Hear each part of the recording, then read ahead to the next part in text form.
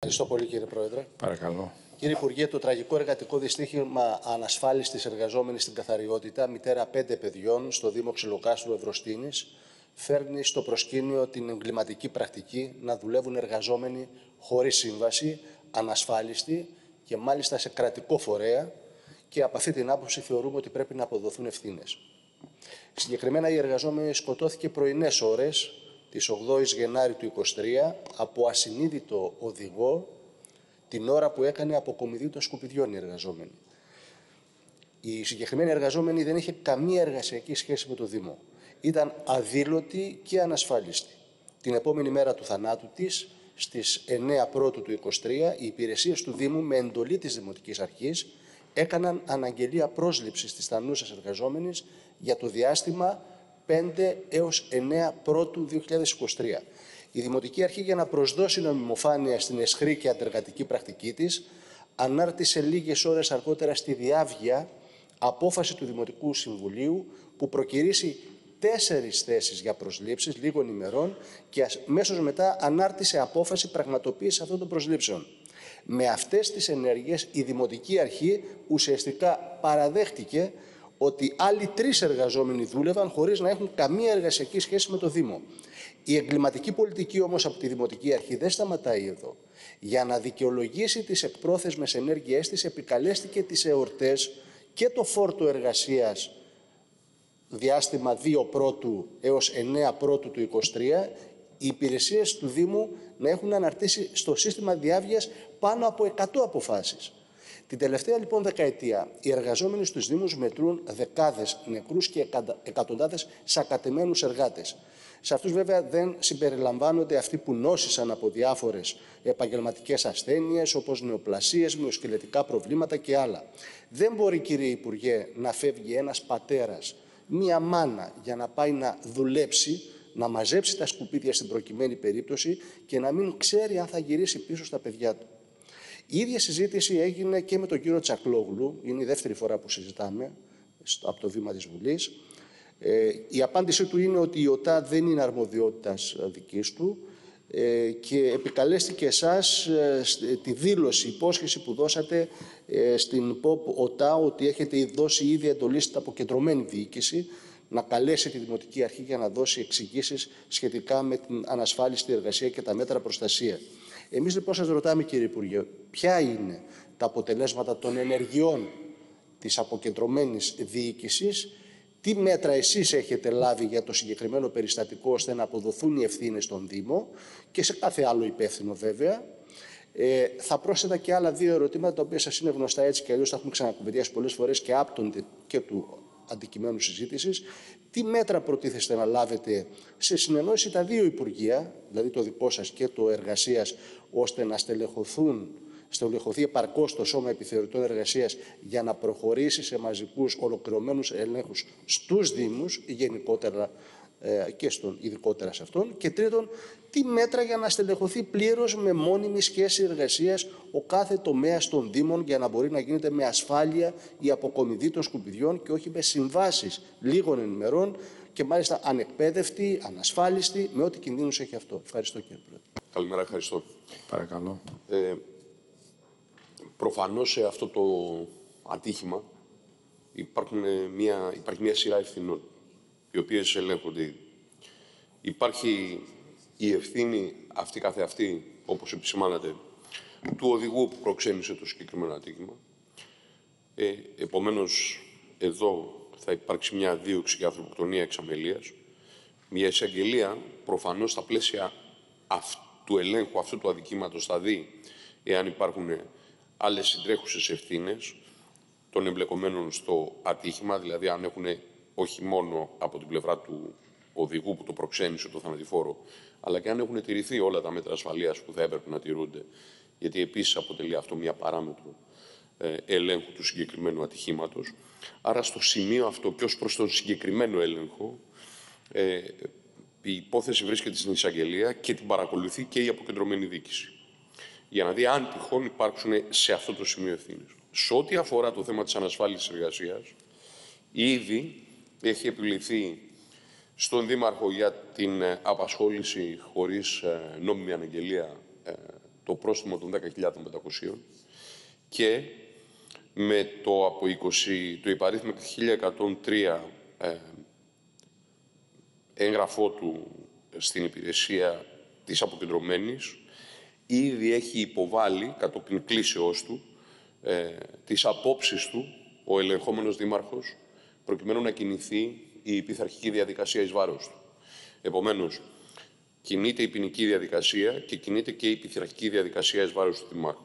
Υπευλήθησαν αυτές οι απόψεις και αναμένεται περαιτέρω να κινηθεί η πειθαρχική διαδικασία εις βάρος του. Άρα, από πλευράς διοικητικού ελέγχου, αυτά τα οποία έπρεπε να γίνουν έχουν γίνει. Ε, έχουν ακουστεί. Οι ισχυρισμοί αυτοί που αναφέρατε, υπερασπιστικά τους αναφέρει ο Δήμαρχος, έχουν ακουστεί. Προφανώς δεν έπεισαν τον ΕΦΚΑ, ο οποίος ούτως ή άλλως επέβαλε το πρόστιμο και φαντάζομαι ότι θα κινηθεί η πειθαρχική διαδικασία ε, προκειμένου να πει αυτά τα οποία έχει να πει στο αρμόδιο πειθαρχικό όργανο ο Δήμαρχος για την συμπεριφορά του αυτή. Ε, έχω, ως προς τα, το συγκεκριμένα, λοιπόν, έχω να, αυτά είναι που έχουμε πει.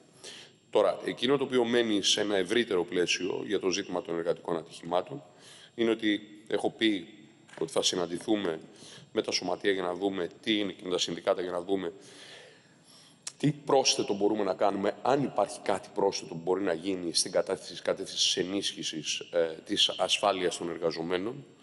Ε, και επομένως είμαστε σε μια διαδικασία να ακούσουμε και προτάσεις πρόσθετες, να ακούσουμε τι είναι εκείνο που μπορεί να γίνει περισσότερο, να δούμε ε, το θέμα της εποπτείας που θέσατε εσείς, σωστά το θέτετε, ε, της εποπτείας για την τήρηση των όσων ορίζει η νομοθεσία για τα ζητήματα αυτά.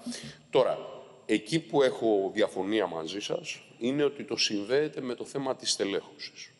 Ε, θα έλεγα ότι, αλλά θα σταματήσω εδώ και ενδεχομένως θα το συζητήσουμε στη δευτερολογία. Από την απάντησή σας κύριε Υπουργέ, καταλαβαίνω ότι δεν θα είναι, ότι είναι μια μακρόσυρτη διαδικασία.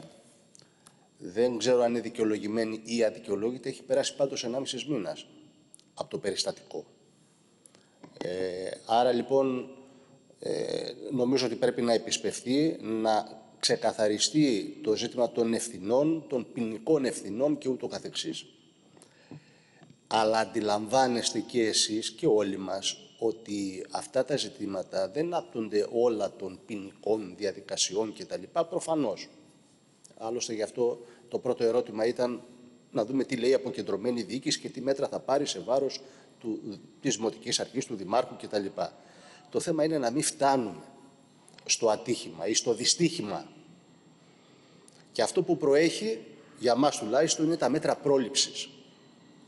Μέτρα πρόληψης λοιπόν. Και αυτή είναι η ουσία της παρέμβασής μας σήμερα εδώ από το βήμα της Βουλής. Η κατάσταση είναι επικίνδυνη κύριε Υπουργέ. Υπάρχει έλλειψη μέτρων προστασίας.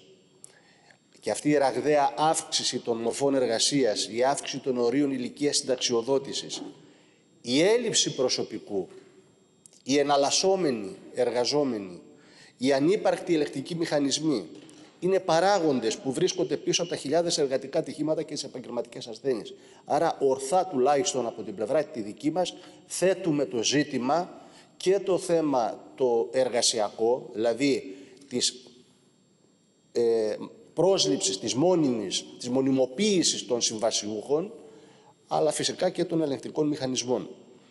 Η ευθύνη βαραίνει διαχρονικά τις κυβερνήσεις και τις δημοτικές αρχές.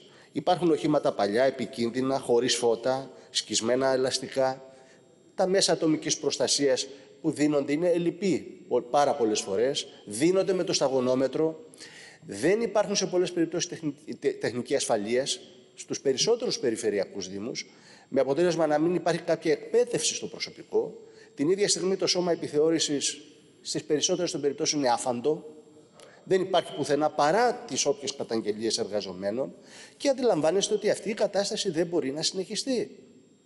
Δηλαδή, κατά την άποψή μας, εδώ ακολουθείται, είτε με ε είτε με ΑΙ, μια στρατηγική μείωσης του κόστους εργασίας, όπως κάνουν οι εργοδότες. Διότι η πρόσληψη κοστίζει. Και ο Δήμος εργοδότης είναι. Δεν είναι αυτό που λέμε ο λαϊκός θεσμός κτλ. Αυτά τα έχουν τελειώσει. Εδώ μιλάμε για επιχειρηματική λειτουργία σε μια λογική κόστους-οφέλους. Αυτό λοιπόν το ζήτημα Ε, και γι' αυτό φυσικά εσείς δεν ελέγχετε την υλοποίηση αυτών των μέτρων ε, ε, πρόληψης για την υγεία και την ασφάλεια των εργαζομένων κατά την εργασία, γιατί έχει αλλάξει ο χαρακτήρας ε, και ο ρόλος των Δήμων. Η προστασία λοιπόν και η πρόληψη του επαγγελματικού κινδύνου υποτάσσεται στους νόμους για τη διασφάλιση του μέγιστου ποσοστού κέρδους, του ανταγωνισμού, αυτό που λέμε ζούγκλα της αγοράς. Εκείνο που ενδιαφέρει την κυβέρνηση και το Δήμο είναι το πώς θα λύσει όπως όπως το ζήτημα των έκτακτων αναγκών. Και ποια είναι η λύση; Το έκτακτο προσωπικό για κάποιες λίγες ημέρες για να καλύψει τις ανάγκες εκείνων των ημερών. Γιατί να έχουν το δικαίωμα πρόσληψης έκτακτου προσωπικού για κάποιες μέρες και όχι το ζήτημα της στελέχωσης των υπηρεσιών των Δήμων για να μπορεί με ασφάλεια η αποκομιδή των σκουπιδιών να γίνεται με ασφάλεια και όχι να έχουμε ανθρώπους ανεκπαίδευτους για δουλειά τριών ή τεσσάρων ημερών και να έχουμε αυτά τα αποτελέσματα τα οποία έχουμε. Ε, ξέρετε, έχουμε 352 δήμους σε ολόκληρη τη χώρα δεν μπορεί να είναι ανεξέλεγκτη η κατάσταση τη στιγμή που οι εργασιακές σχέσεις έχουν ανατραπεί, τη στιγμή που οι εργαζόμενοι δουλεύουν κάτω από αυτές τις άθλιες συνθήκες. Έχει δικαίωμα ο εργαζόμενο και υποχρέωση της πολιτείας να δουλεύουν με ασφάλεια, με υγεία και αυτό πρέπει να διασφαλίζεται σε μια οργανωμένη κοινωνία. Δυστυχώς όμως το κέρδος είναι μπροστά και το έγκλημα είναι βέβαιο. Εμείς καταλήγοντας έχουμε δύο πολύ σημαντικές προτάσεις και απλές, τις οποίες καθημερινά οι εργαζόμενοι τις κουβεντιάζουν, τις έχουν και στα αιτήματά τους. Προχωρήστε σε άμεση νομοθετική ρύθμιση για τη μετατροπή όλων των συμβάσεων ορισμένου χρόνου στις υπηρεσίες καθαριότητας των Δήμων πανελλαδικά, σε συμβάσεις αορίστου χρόνου προσλάβετε επιπλέον αριθμό εργαζομένων με μόνιμη σχέση εργασίας που να καλύπτουν το σύνολο των αναγκών και πάρτε μέτρα υγιεινής και ασφάλειας, εξοπλίστε τις υπηρεσίες καθαριότητας, ενισχύστε τους ενεργητικούς μηχανισμούς, τελεχώνοντας αρμόδιες υπηρεσίες. Όχι άλλου νεκρούς εργάτες. Τόσο δύσκολο είναι να γίνουν όλα αυτά. Γιατί δεν τα κάνετε; Είναι η πολιτική σας αυτή. Και φυσικά θα κρυθείτε, όπως και θα κρυθούν και όλα τα κόμματα που κυβέρνησαν αυτόν τον τόπο σε επερχόμενες εκλογές. Ευχαριστώ. Ως προς την ε, ταχύτητα της διαδικασίας. Η διαδικασία, η αλήθεια είναι ότι έχει κινηθεί με μεγάλη ταχύτητα. Γιατί το λέω αυτό; 8 πρώτου έχει συμβεί ξημερώματα, έχει συμβεί το ατύχημα. 12 πρώτου, με το υπαρίθμιο πρωτοκόλλου 1389 έγγραφο, η αποκεντρωμένη δίκηση ουσιαστικά ξεκινά την πειθαρχική διαδικασία και ζητά ε, απόψεις από τον ελεγχόμενο δήμαρχο. 20 πρώτου, διαβιβάζεται, διαβιβάζονται οι απόψεις και προφανώς τώρα κινείται περαιτέρω η διαδικασία, δηλαδή πρέπει ε, να γίνουν τα νόμιμα σε ό,τι αφορά την διαβίβαση στο αρμόδιο ε, πειθαρχικό όργανο για να ελεγχθεί ο Δήμαρχος. Αυτό, με τη δική μου εμπειρία τη διοικητική, είναι πάρα πάρα πάρα πολύ γρήγορα. Και σωστά είναι πολύ πολύ γρήγορα, γιατί υπάρχει η βαρύτητα εδώ της πράξεως. Άρα θέλω να πω δεν είναι ένα οποιοδήποτε πειθαρχικό αδίκημα το οποίο έχει κάνει ο Δήμαρχος, είναι ένα πειθαρχικό αδίκημα ε, το οποίο συνδέεται εν τέλει με μια ανθρωποκτονία εξαμελίας. Όχι αιτιακά, αλλά το ανασφάλιστο εδώ έχει ιδιαίτερη, ε, ας το πω, ηθικοκοινωνική απαξία. Τώρα, στα υπόλοιπα. Εκεί έχω μεγάλη διαφωνία, δεν εκπλήτεστε φαντάζομαι, με το συλλογισμό σας. Γιατί, διότι Πώς καταλήγουμε από το ότι εδώ έχουμε μία πενθήμερη σύμβαση ορισμένου χρόνου; Στο να συζητάμε μόνιμες προσλήψεις, αυτό έχει ένα τεράστιο λογικό κενό και άλλο. Οι πενθήμερες συμβάσεις δεν θα μπορούσαν να αποφευθούν ανεξαρτήτως του επίπεδου στελεχώσεως, εκτός και αν μου λέτε το εξής. Ότι θα σχεδιάσουμε το επίπεδο πρόσληψης και αναγκών προκειμένου να καλύπτεται ακόμα και εκείνο το ενδεχόμενο όπου για ένα συγκεκριμένο χρονικό διάστημα ένας συγκεκριμένος Δήμος έχει αυξημένες ανάγκες καθαριότητας. Που μπορεί να είναι ένα τρίμερο. Να πω ένα παράδειγμα, γιατί λέτε, γιατί τους επιτρέπεται να, κάνετε, να προσλαμβάνουν εκτάκτο προσωπικό. Μα αν έχει ένας Δήμος μία γιορτή και εκείνο το τρίμερο έχει πάρα πολύ κόσμο και επομένως έχει αυξημένες ανάγκες καθαριότητας εσείς μου λέτε ότι θα πρέπει το επίπεδο προσλήψεως να είναι εκείνου του τριημέρου για όλο το χρόνο; Εκείνες τις τρεις μέρες ξαφνικά ένας Δήμος, λέω εγώ, με 5.000 κατοίκους, υποδέχεται, επειδή είναι εορταστικό τρίμηνο, 50.000 ανθρώπους. Εκείνη την ώρα πρέπει λοιπόν να έχουμε προσωπικό για να εξυπηρετήσουμε 50.000 ανθρώπους. Σωστά. Εσείς τι μου λέτε, να πάρουμε προσωπικό που θα καλύπτει τις ανάγκες των 50.000 που όμως θα υπάρχουν για τρεις μέρες και θα παραμείνει εκεί όλο το χρονικό διάστημα και να καλύπτει τις ανάγκες 5.000 ανθρώπων. Άρα λοιπόν, ακούστε, ξαναλέω, το συγκεκριμένο παράδειγμα δεν είναι καλό για να πάμε σε αυτή τη συζήτηση. Γιατί αυτή ήταν μια εργαζόμενη με πενθήμερη σύμβαση εργασίας. Άλλο και τελείως διαφορετικό ζήτημα, αυτό θα το ακούσουμε, το θέμα του, παραδείγματος χάρη, των οκταμίνων ή των επαναλαμβανομένων προσλήψεων εδώ. Αυτό όμως είναι μια άλλη συζήτηση, δεν έχει να κάνει με αυτό. Άρα, πρώτη απάντηση στο ερώτημά σας. Πρέπει να δίνουμε στους Δήμους την δυνατότητα και την ευελιξία να έχουν τέτοιο προσωπικό όταν το χρειάζονται για να καλύψουν αυτές τις ανάγκες που σας περιέγραψα. Η απάντηση είναι ναι. Δεύτερον, με παρακινείτε να μετατρέψω τις συμβάσεις ορισμένου χρόνου σε συμβάσεις αορίστου χρόνου. Αυτό μου το λέτε προφανώς έτσι γενικώς, γιατί την ξέρετε τώρα το συνταγματικό κόλλημα, το ρητό συνταγματικό κόλλημα, το ξέρετε. Ξέρετε ότι αυτό απαγορεύεται εκ του συντάγματος. Ξέρετε επίσης, και απορώ γιατί το λέτε, γιατί απαγορεύεται εκ του συντάγματος. Το σύνταγμα μας, ο συνταγματικός νομοθέτης, γιατί έβαλε αυτή την απαγόρευση. Το ξέρετε. Για να σπάσει ένας κύκλος ρουσφετολογικός, όπου ουσιαστικά με αδιαφανείς διαδικασίες προσλαμβάνονται κάποιοι ως ορισμένου χρόνου και εν συνεχεία δια της επαναλήψεως αυτών των συμβάσεων και των νομοθετικών παρατάσεων καταλήγουν να μπαίνουν εκτός ΑΣΕΠ, εκτός ΑΣΕΠ στο δημόσιο. Άρα λοιπόν, δύο λεπτά. Η τρία κάπα δεν έχει να κάνει με αυτό. Η τρία κάπα ήταν μια κανονική προκήρυξη, μπορεί να έχει τα ελαττώματά της ως προκήρυξη, άλλο αυτό, αλλά δεν είχαμε εδώ συμβασιούχους ορισμένου χρόνου. Είχαμε προκήρυξη προκειμένου να γίνει πρόσληψη μονίμου προσωπικού. Αυτό είναι άλλη συζήτηση. Άρα λοιπόν, σας απαντώ και στο δεύτερο. Όχι, δεν μπορούν να γίνουν και δεν πρέπει να γίνουν και σωστά δεν γίνονται οι συμβάσεις ορισμένου χρόνου, συμβάσεις ορίστου χρόνου.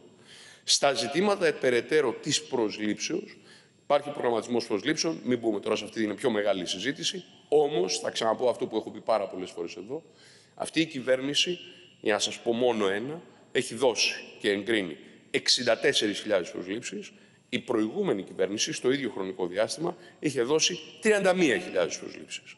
Απλώς τι κάνει αυτή η κυβέρνηση, κάνει μια καθαρή στόχευση στο που υπάρχουν ανάγκες και προτεραιότητες για να καλυφθούν και δίνει έμφαση κυρίως σε προσωπικό ΠΕ, ΤΑΦΕ, ακριβώς για να καλυφθούν οι αυξημένες ανάγκες σε επίπεδο γνώσης που χρειάζεται σήμερα η υπηρεσία και το ελληνικό δημόσιο.